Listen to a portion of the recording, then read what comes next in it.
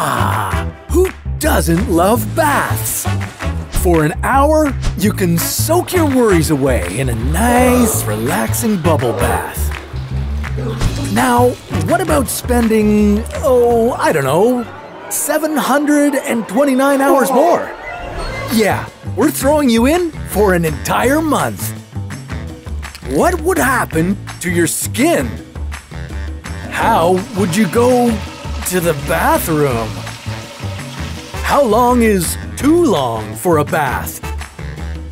This is What If, and here's what would happen if you don't leave your bathtub for a month.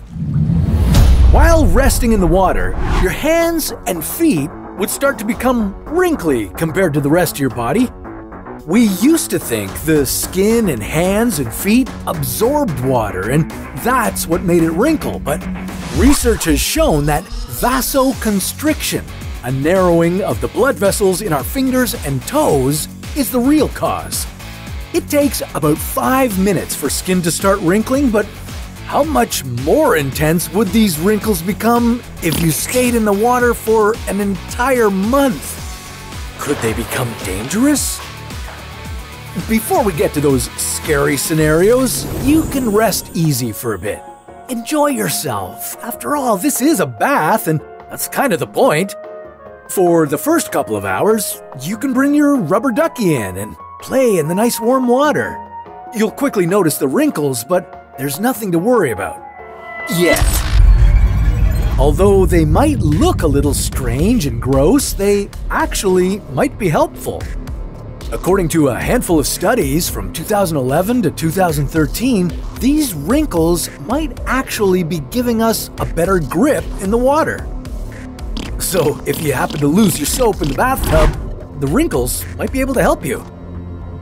Okay, congrats! You're 24 hours into your bath time marathon. Only 706 more hours to go, and. Okay, no one said being in a tub this long would be so boring. Your rubber ducky has deflated, your laptop is dead, and ah, your body is starting to hurt. You'll start to notice bubbles forming on your skin. These are known as vesicles. In this case, they're caused by the water in your tub getting trapped between your outer and middle layers of skin. These bubbles will continue to form the longer you're in the bath, creating bubble filled skin all along your body. And as that happens, you'd start to get hungry. It's unlikely you'll have access to servants while you're in the bath, so your best bet for getting fed would be with a tube filled with all the nutrients you'd need. But then, you know what comes next washroom time.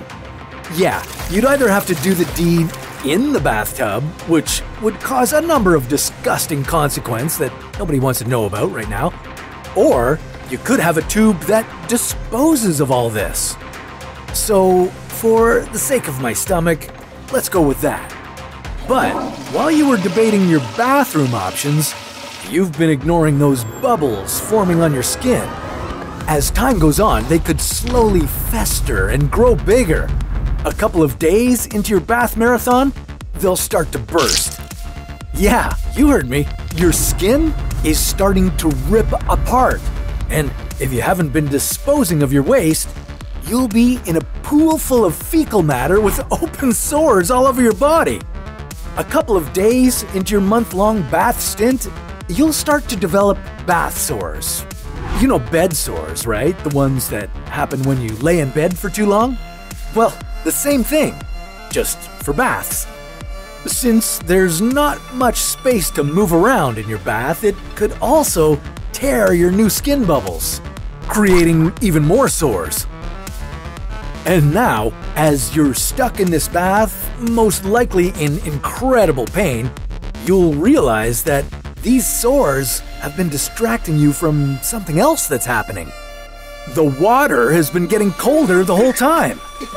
Yeah, if you haven't been adding in any more hot water and you don't have any way to sustain the temperature, your bath could get dangerously cold. If your bath temperature gets down between 21 and 26 degrees, then spending just a couple of hours in the tub could cause you to pass out. Now, those temperatures on their own aren't enough to kill you, but if you're rub-a-dub-dubbing for an entire month, your survival chances don't look good. Unless you're heavily monitored with proper nutrition, consistent fresh water, and a way to go to the bathroom, being clean would be the least of your worries. But let's say you did manage to survive a month. How would you feel? Well, we'd imagine you'd feel a little different. Your skin would be ripped all along your body, not to mention festering with infection, even if you did survive your extended bathtub adventure, you wouldn't hop out the same person you were a month ago. You know, something you have a better chance of surviving is if you fell into a pool of spent nuclear fuel rods. I'm not even kidding. But that's a story for another What If.